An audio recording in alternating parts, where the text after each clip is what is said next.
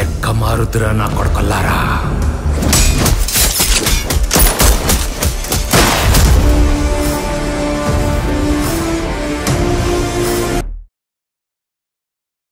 Hello, thank you for joining us on Movie Matrix Reviews channel.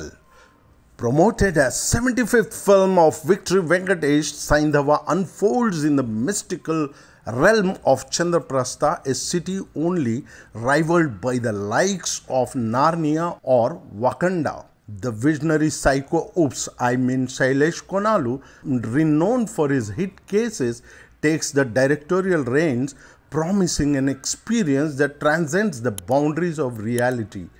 But before we proceed further, want to draw your attention to a burning issue of toning down criticism for Gunturu Karam as pointed out by many Movie Matrix fans.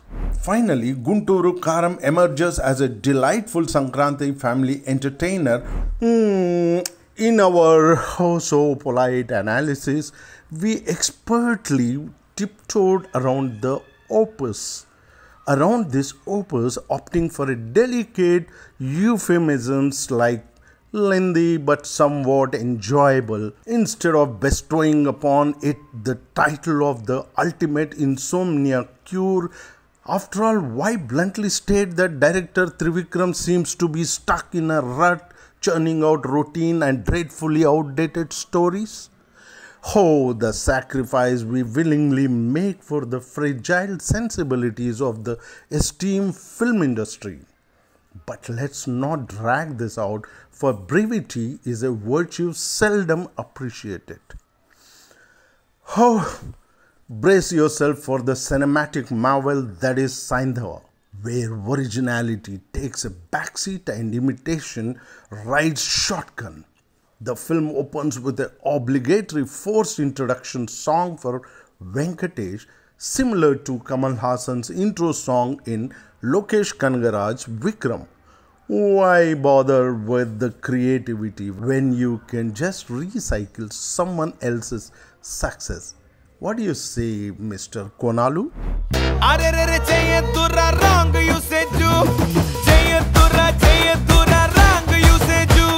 Venkatesh Salt and Pepper Beard undeniably merits its own accolades. However, alas, it finds itself preoccupied paying homage to Kamal Hassan again in Vikram, leaving little room to bask in its glory independently.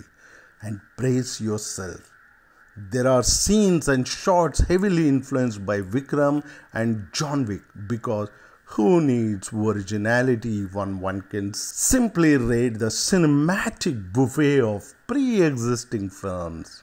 The film attempts to build up Saindhav, nicknamed as Psycho in the beginning, but the impact is about as powerful as deflated balloon.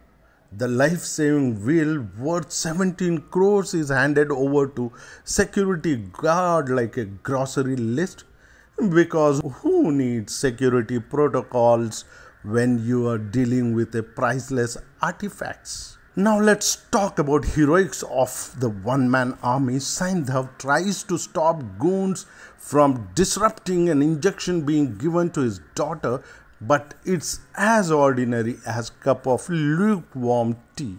A lady just walks in and vanishes with the veil what happened to build up image of this one man army? What coming back oh, show the.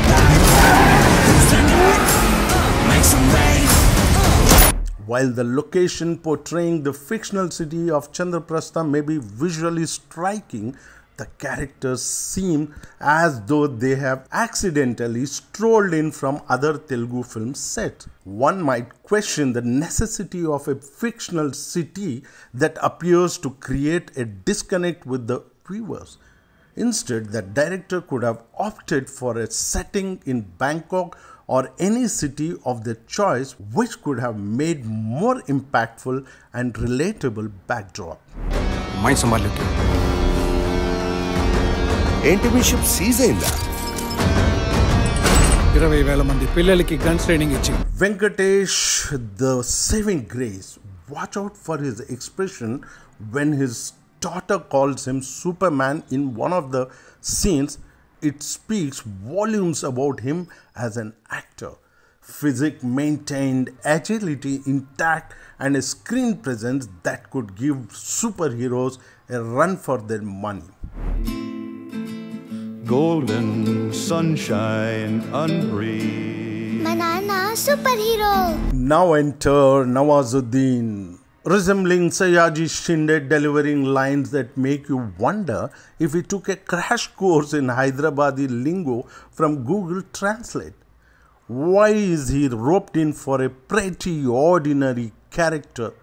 Nobody knows.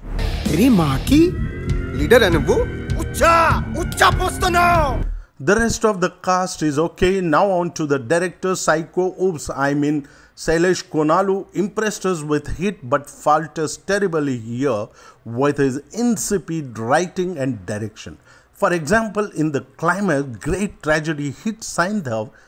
This could have tugged at the heartstrings, but well, it missed the memo. Flashbacks for the hero now, who needs those when the film is busy building up to? Well, nothing much. This prompts us to question how Venkatesh, known for his discerning choices, agreed to such a lackluster story. The film, announced with an impressive glimpse a year ago, seems to have lost its luster along the way. In the retrospect, the story outlined in the teaser was more captivating than the film itself.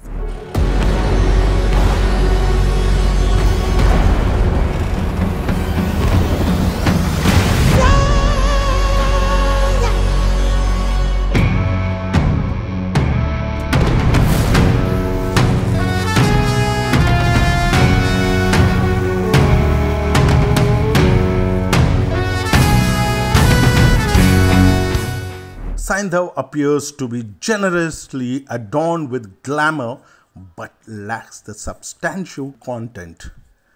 Background music by Santosh Narayan is decent. Couple of songs are nicely rendered, and Manikandan's cinematography adds some much needed glitter to the lackluster plot and borrowed scenes.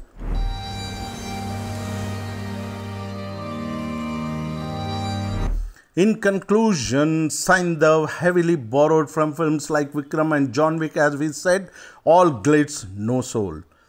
It may suffice for a casual watch if you find yourself with little else to do, but it falls short of expectations. Enjoy the visual spectacle if you are left counting sheep or have no kites soaring in the sky. Thank you for watching us. Take care.